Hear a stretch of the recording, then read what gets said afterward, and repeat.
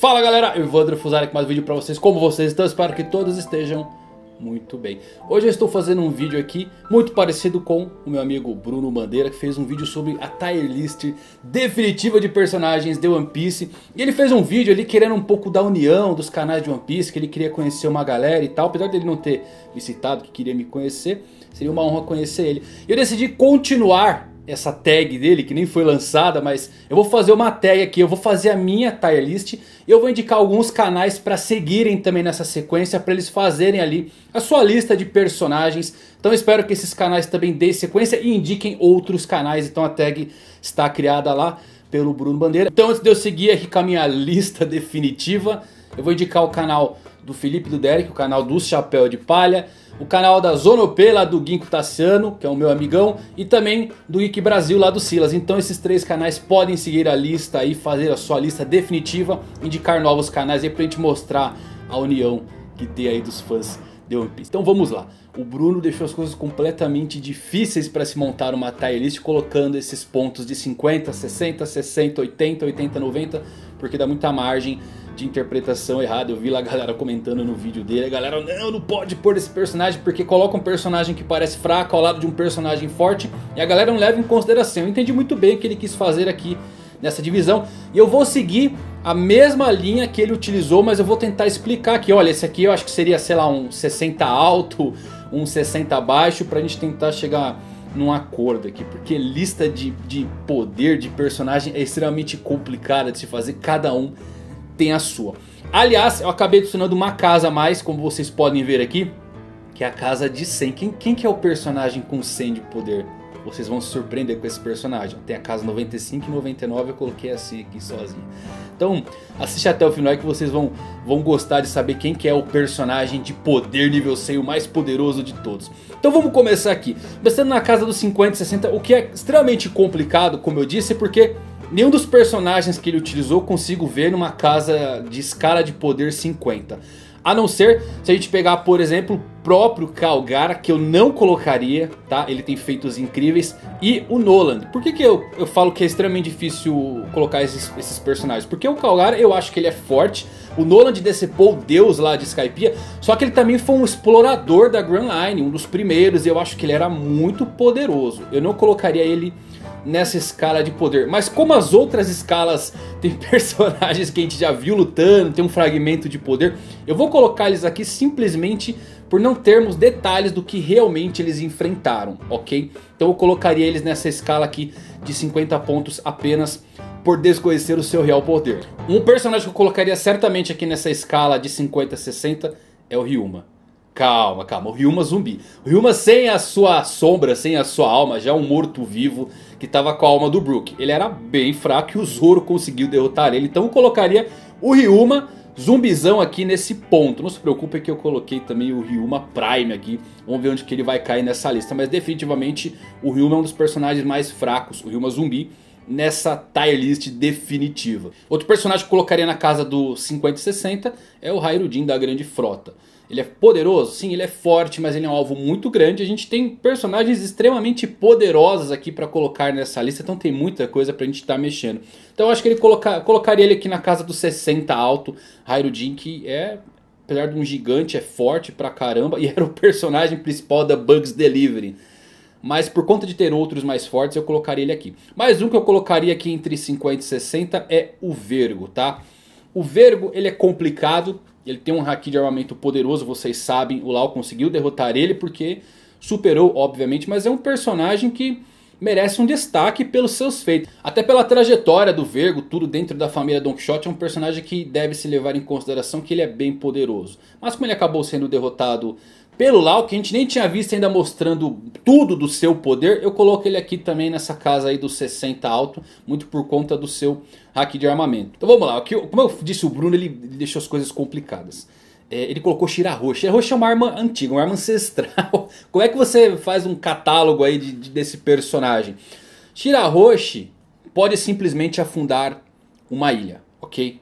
Sabemos disso. Ela é. Vamos colocar que ela é um dos personagens mais fortes dentro do mundo de One Piece por conta do poder de chamar os reis dos mares. Mas. Mas individualmente ela não possui nenhum poder. É como se o Luffy não tivesse nenhum poder e tivesse a sua grande frota. Então por isso, por esse motivo...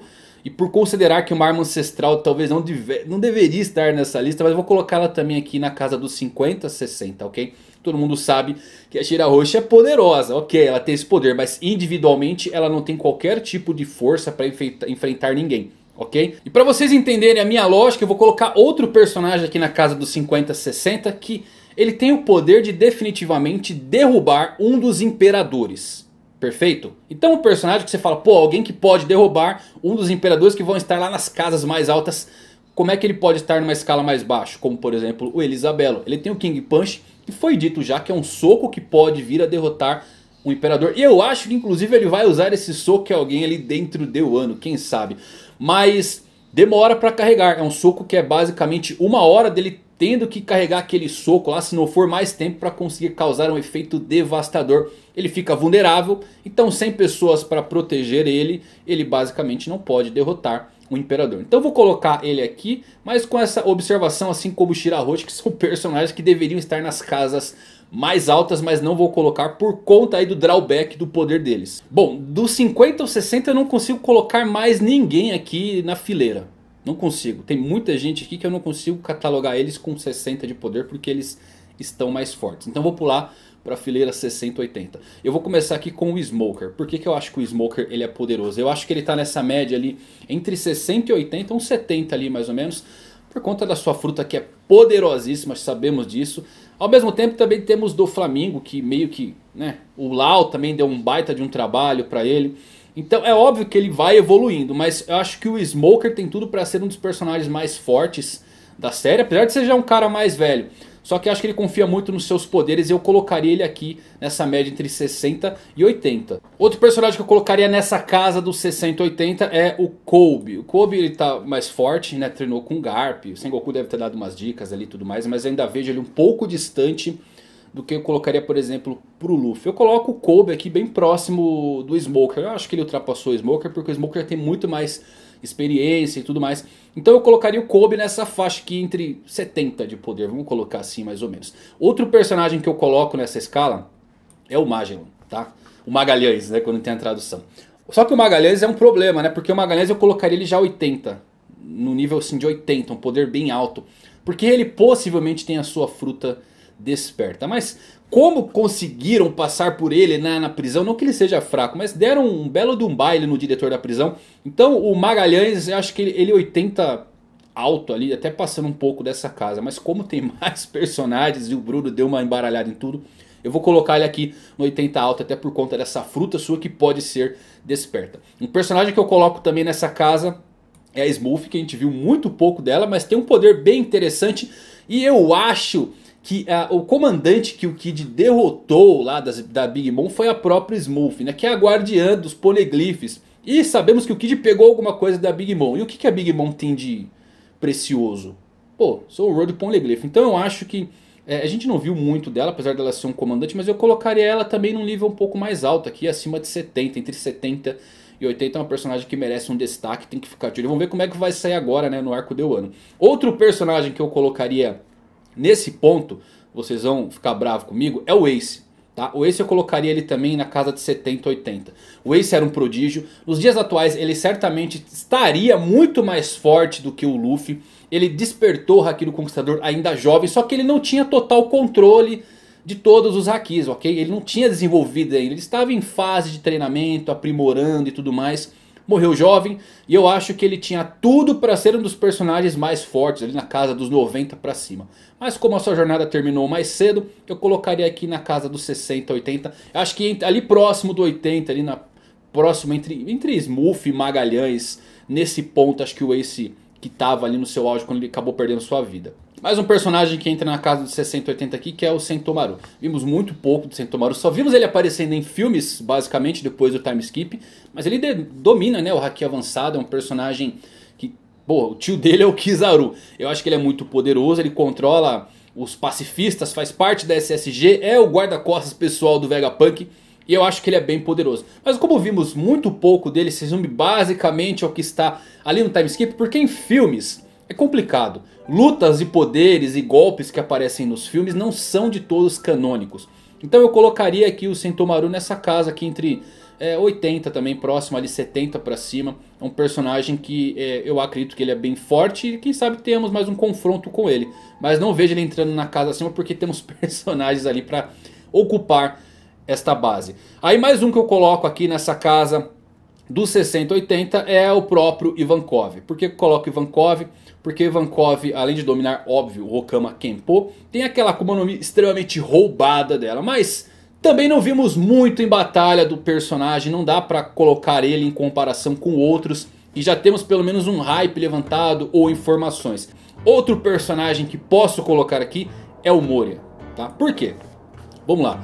O Moria ele é o exemplo de procrastinação. O Moria, quando ele lutou com o Kaido 23 anos atrás, foi uma luta e tanto. Dizem que o, o, naquela época ele estava ali meio que a par de rivalidade com, com o Kaido. Ele acabou perdendo, óbvio. Só que depois disso ele entrou meio que numa depressão, porque ele perdeu a sua tripulação e ele parou de treinar. Por isso que ele perdeu para o Luffy. Ele procrastinou, não treinou. Ele é como o Bug. O Bug, o Oda já disse que ele seria como Shanks se ele tivesse treinado, mas ele é preguiçoso demais. E isso aconteceu com o Moria, infelizmente. E eu coloco o Moria, apesar da sua Akuma no Mi poderosa, se não contarmos aqui o seu exército, somente o Moria, eu coloco ele entre 60 e 70 ali, bem um pouco abaixo desses personagens por conta disso. Se ele tivesse treinado, hoje ele estaria em rankings bem mais altos. Mais um personagem que eu coloco entre 60 e 80 é o Don Shinjao, com a sua cabeça de broca. O Shinjao é o seguinte, o Shinjao ele no seu auge ele enfrentou o Garp que treinou destruindo montanhas, aquela cabeça de broca dele que só ele conseguia abrir aquela parede de gelo para ver o seu tesouro. Só que ele acabou perdendo o poder ali por conta que o Garp lhe deu um belo de um cascudo. E acontece o que? Ele ficou sem treinar, sem usar sua verdadeira força. O Luffy veio e devolveu a sua cabeçona, mas é, ele acabou perdendo poder. Então eu coloco o Don Shinjao hoje, apesar de ter Haki tudo mais poderoso. Ali na média também de 70 a 80. Bora lá, próximo eu coloco o Caesar.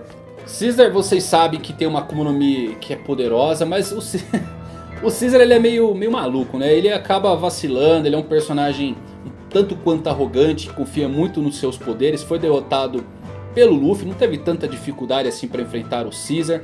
E eu acho que por conta dessa personalidade dele, de confiar muito nos seus experimentos e tudo mais, ele acaba deixando transparecer essa grande fraqueza dele. O Caesar eu colocaria ele em um patamar mais ou menos do Mori aqui, um pouquinho mais alto, né, porque estamos já no novo mundo. Mas acho que numa faixa ali de uns 70, uma média, não acho que ele derrotaria nenhum desses personagens que estão aparecendo aqui. Outro personagem que eu coloco na casa dos 60, 80, Boa Hancock. Boa Hancock eu coloco ela na casa do próximo dos 80, o poder da, da, da, Hancock é interessante, né? Só que é um poder que geralmente é utilizado para controlar as massas, os exércitos. Ela no um contra um, contra um desses personagens aí extremamente poderosos, a gente teria que ver como é que se sai. A gente não viu isso ainda acontecendo. Tudo que a gente viu da Boa Hancock no canon, dentro do mangá, é ela enfrentando exércitos e deixando eles completamente apaixonados.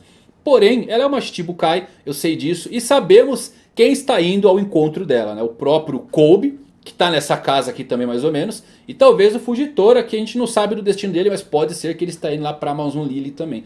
E eu colocaria assim Boa Hancock nessa casa aqui dos 80 ali, 60, 80, mas bem alta ali, próximo da casa dos 80. Uma personagem que tem que ficar de olho pela sua economia e eu acho que ela tem muito mais, até porque ela tem Haki do Conquistador. Então, acho que é um, uma posição justa para ela. Então vamos lá, 80, 90 eu coloco o Guild Tesouro para começar aqui. O Gilbert, ou Gilbert. O Gilbert, é, ele tem um poder interessante além de ter a sua Akuma no Mi desperta. É uma das primeiras Akuma no Mi desperta que a gente vê logo após ser inserida ali pelo do Flamingo.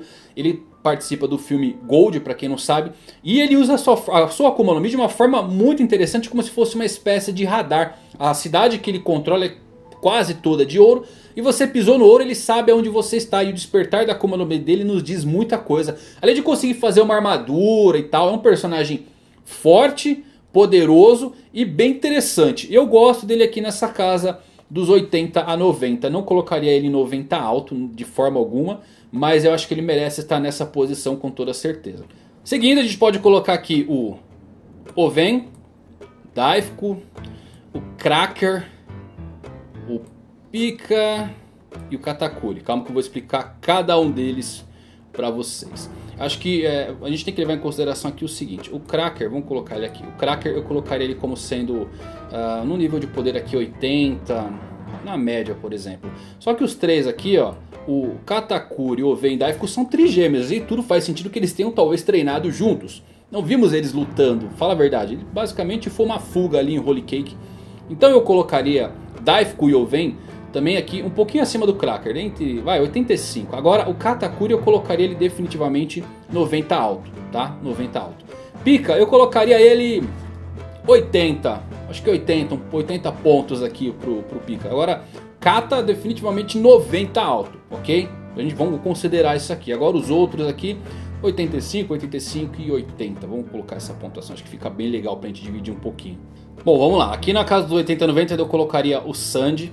Tá? O Sandy eu acredito que ele não está no nível de um Katakuri, por exemplo, mas acho que com Daifuku e Oven daria uma boa luta, principalmente com o traje. Temos que levar isso em consideração. Com o seu traje agora, o Sandy ele recebeu um power up. Então eu colocaria o Sanji aqui também entre 80 e 90, talvez numa média próximo dos dois aqui. Óbvio que tudo pode acontecer numa luta. Outro personagem que eu colocaria aqui, colocaria 90 alto, é o Kid. Não sei se o Kid bateria de frente com o Katakuri, mas o Kid é poderoso, galera. Ele é forte. A Akuma no Mi dele é muito roubada. Imagine se ele conseguir controlar, por exemplo, o Kairoseki com seu poder. Né? Se ele conseguir, ele não precisa tocar. Seria magnífico isso. Imagina ele lutar contra um personagem que tem Akuma no Mi. Então eu acho que eu colocaria definitivamente o Kid nesse ponto. Edward Weevil também eu colocaria nesse ponto, é um personagem misterioso, mas que já deu indícios de ser forte pra caramba. Ele conseguiu derrotar remanescentes da tripulação do Barba Branca, isto não é qualquer coisa. Não sabemos quais personagens foram que ele derrotou. Mas ele tá fazendo a limpa ali em tudo que era aliado do Barba Branca. Eu colocaria ele aqui com 90 alto também, viu? Até se ele nos surpreender, ser um pouco mais forte que isso. Nessa mesma linha, vem o God Enel. Por que coloquei o Enel nesse ponto aqui? O Enel ele é um cara extremamente arrogante que confia muito nos seus poderes e acabou perdendo ali pro Luffy, né? Que ignora a eletricidade porque borracha não conduz eletricidade. Magnífico. Bom, o Enel é forte. Tá? É, não sabemos se ele continuou treinando ele nesse período, mas ele tinha um mantra que era um haki absurdo, forte pra caramba.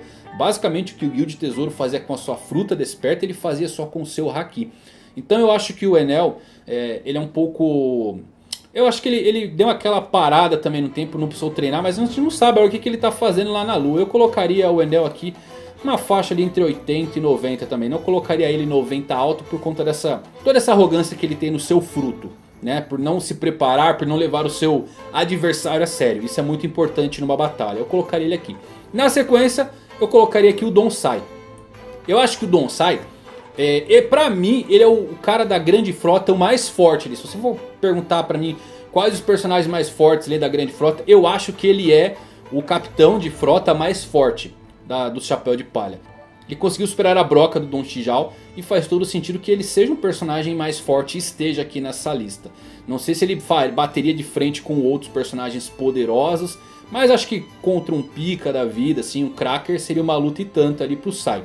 É, então acho que colocaria ele aqui nessa base aqui de entre 80 e 85, um pouco mais baixo. Mas ele merece destaque, tem que ficar de olho nele, tá bom? Aí também tem o Uroge, né? Ou Uroge, não sei como é que vocês falam.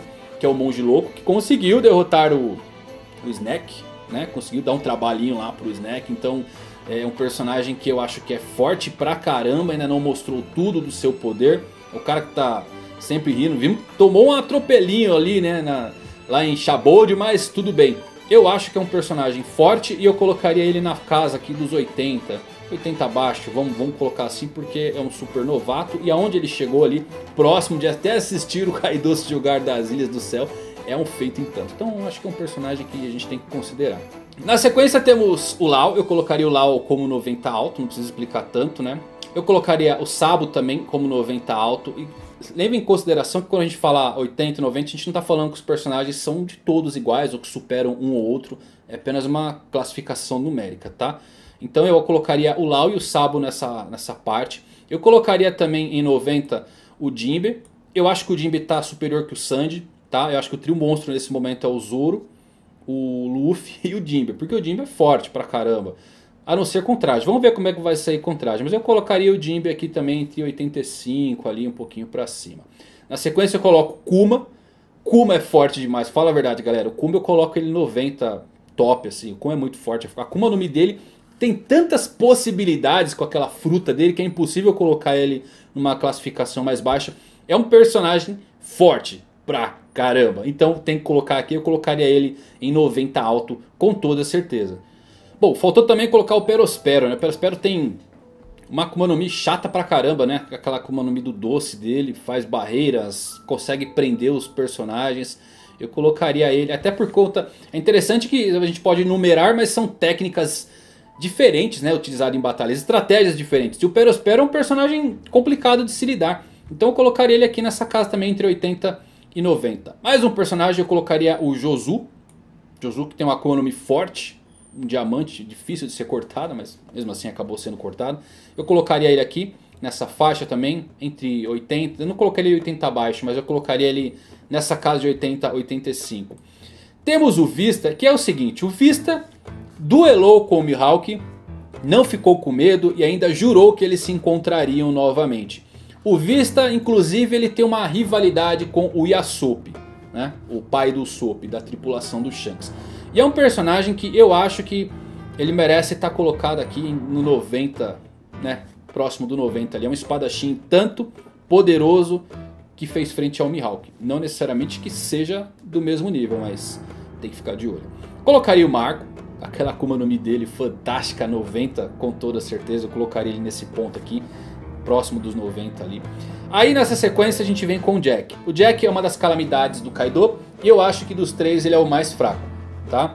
Até por conta que a gente viu ele dar uma baixada de bola já pro King e pro Queen. E eu colocaria ele aqui nessa casa de 85 mais ou menos junto com esses personagens.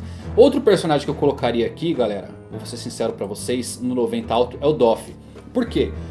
O Luffy derrotou o Doff com a ajuda do Lau. Então tivemos dois personagens fortes que tiveram que se unir para conseguir derrotar ele. Ele tem a Akuma no Mi desperta, ele é poderoso. Eu colocaria ele facilmente aqui no 90 alto. Personagem que não pode ser julgado de uma forma que não seja diferente dessa. Eu acho que aqui a gente encerra essa parte aqui do 80-90. Vamos agora para os 90-95, que é onde a galera está interessada. Né? Começaria aqui com o Oden. Oden é forte, eu não consigo ver o Oden abaixo disso. Não colocaria ele 95 alto, mas ele tem um poder em tanto. Ele conseguiu ferir o Kaido, apesar do Kaido não estar no seu auge de força. E eu acho que ele pode ocupar aqui um ponto ali entre 90 e 95. Nessa linha a gente vem com Kizaru, a gente vem com Almirante Z, a gente vem com Green Bull, a gente vem com Akainu e a gente vem com Aokiji e Ishu, Fugitora. Eu vou colocar esses personagens e vou explicar cada um deles para vocês. Bom, o Kizaru poderoso, vocês sabem, aquela Akuma no Mi dele é forte. Então acho que faz todo sentido a gente colocar ele aqui. Como a margem está pequena, eu não vou ficar falando 90, 90 baixo, 95 alto. Eu acho que eles devem ser colocados aqui. Almirante Z, pô, treinou toda essa leva de, de cara, então é muito forte. Né, é poderoso. O Green Bull com certeza é forte. Aokiji é forte. Ishu é forte. O Akainu eu acredito que seja o mais forte dos almirantes, na minha opinião, tá? Até porque ele tem a Akuma no Mi mais ofensiva de todo One Piece, segundo o próprio Oda cara disse que se ele quisesse encontrar One Piece, se ele fosse um pirata, ele faria isso em um ano por conta do seu poder. Então definitivamente ele tem que estar tá aqui, né? É uma fruta extremamente ofensiva, poderosa e que com certeza faz frente aos mais poderosos. Nessa linha também colocaria aqui o Shiryu, da tripulação do Barba Negra, faz todo sentido que ele esteja aqui. Eu colocaria o Zoro, tá? Já vou explicar para vocês porque o Zoro está aqui, antes que vocês me xinguem. Eu colocaria o Luffy eu colocaria também o Mihawk. Vamos explicar aqui pra vocês essa linha desses personagens aqui. O Shiryu, o Mihawk, o Zoro e o Luffy. O Luffy, é, sabemos que ele conseguiu derrotar o Katakuri com muita dificuldade. Foi complicado pra caramba. O Katakuri meio que entregou a luta pra ele. Só que ele evoluiu. Após isso ele conseguiu evoluir, já melhorou seu haki de observação. Então ele tem que estar acima do Kata nesse ponto. Ele está mais forte, tá? Mesmo assim não está no nível de Almirante ainda. Não concordo que ele esteja. Por que, que o Zoro também está aqui nessa lista junto com o Luffy? Porque o Zoro ele sempre acompanha o Luffy progressivamente na questão de poderes. Se a gente pudesse colocar que o Luffy é 91, o Zoro seria 90. Vamos colocar assim. Mihawk, óbvio que ainda é superior ao Zoro no quesito espadachim. Tá? Definitivamente não consigo ver o Zoro equiparável ao Mihawk nesse ponto. E o Shiryu agora com aquela fruta da invisibilidade eu colocaria ele num nível ali entre o Mihawk e o Zoro. Perfeito? Então são personagens que tem que estar aqui nessa casa. É, mesmo assim, ainda acho que o Zoro, o Luffy não tem capacidade para tancar os almirantes. Eu acho que eles têm que estar nessa casa, mas ainda um pouco abaixo deles. Bom, agora vai entrar uma leva de, de personagem. Né? Eu tenho que colocar também o Ryuma Prime. Vamos falar sério, né? O Ryuma, é, pra mim, é o maior espadachim que já teve, porque o cara tem a alcunha de Deus da espada. Nessa leva eu coloco também é, Ben Beckman. Óbvio tem que ter o Ben Beckman. Eu coloco o Yasop. Eu coloco também o Lucky Who. E quem mais? Aqui vamos explicar aqui o seguinte. Eu acho que esses três aqui são equiparáveis. Lucky Who, Yasop e o Ben Beckman. Só que eles têm um hype extremamente elevado. Sengoku disse que ele, o, Shanks tem a tripulação mais poderosa porque ela é a mais balanceada. Ele não tem uma frota, assim como os Piratas das Bestas ou a Big Mom com seus 385 filhos. Ele tem somente esses piratas. Então eles são poderosos e têm um nível de poder próximo do Shanks. Eu acho que eles são extremamente balanceados, com o Ben, Beck, ben Beckman batendo realmente nos 95 aqui, próximo dos almirantes. E os dois aqui um pouquinho abaixo, né? Vimos o que aconteceu lá em Marineford. Nessa mesma sequência, podemos colocar também o Ray, cara. O Ray não tem como. O cara velho daquele jeito conseguiu parar o chute do, do Kizaru. O Garp deu risada quando disse que ele foi preso e disse que precisava mobilizar pelo menos um exército inteiro de marinheiros para conseguir capturar. Ele é forte, ele é poderoso. Não tem como ele estar tá aqui. Para mim ele está nível aqui dos almirantes facilmente mesmo naquela idade avançada. O Ray Prime para mim estaria acima. Vamos falar dele mais atual. Nessa mesma linha a gente também pode colocar o King e o Queen. Perfeito? King e o Queen.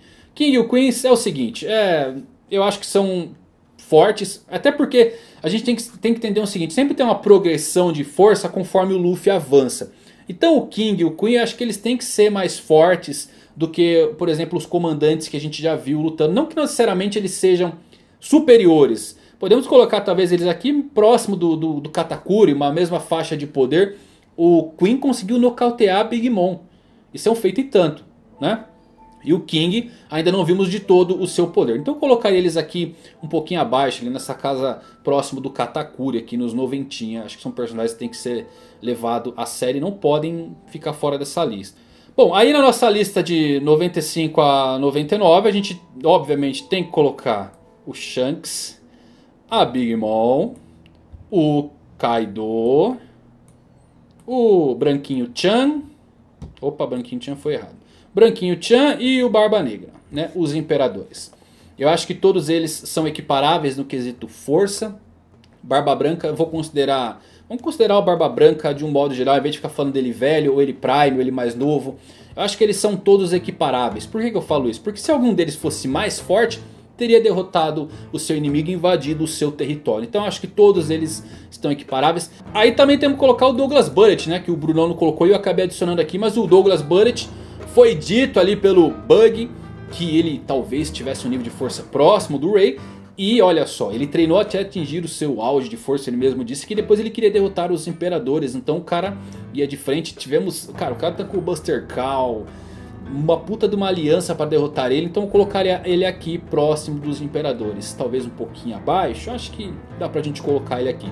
Aí na sequência temos também Chico, o Leão Dourado, que faz parte é basicamente um dos imperadores, aquela como nome roubada dele. Temos também é, o Dragon, cara, o Dragon eu já colocaria ele num nível assim de, de imperador. Eu não consigo ver o Dragon mais fraco do que esses personagens. Então eu colocaria ele facilmente aqui nessa lista.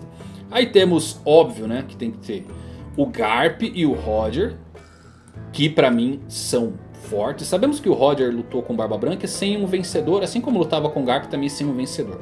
São fortes, poderosos, tem que estar nessa lista de qualquer forma, assim como os níveis de forças atuais dos imperadores. Aí, obviamente, se eu colocasse um 99, eu colocaria o Zebek. Porque a gente teve que ter uma união entre o Roger, no seu auge, e o Garp no seu auge para conseguir peitar esse cara. Tá? Então acho que eu colocaria o Zebek em 99. Outro personagem que eu colocaria também no 99 é o próprio Insama. Eu acho que é um personagem que vai dar muito trabalho. Tá? Então acho que o Zebek e o Insama são os personagens aí que devem ocupar esse topo dessa lista. Agora, Nível 100, quem eu colocaria de nível 100? Nível 100 eu colocaria o cara que inventou o Oda, o Condoriano. eu acho que o Condoriano é o personagem mais forte de todo o One Piece. Ninguém pode juntar tudo isso aqui, ó. O Condoriano ele inventou o mar. Condoriano inventou o Oda. Condoriano já foi marinheiro, já foi pirata. Ele inventou o Joy Boy, ele destruiu o Reino Antigo, ele fez tudo, tá? Então, é, certamente, eu acho que tinha que ter até a lista 120%, porque o Condoriano ocuparia o primeiro da lista. Então acho que é isso, galera. Essa é a tier list definitiva aí, seguindo o vídeo do, do Brunão. Então fica a indicação aí, Geek Brasil, o Zona AP e o canal do Chapéu de Palha para seguirem com essa tag aí e a gente levar isso à frente. Espero que vocês tenham gostado, se divertido. Se você gostou, deixa o like. Fiquem ligados até os próximos vídeos. Valeu e fui.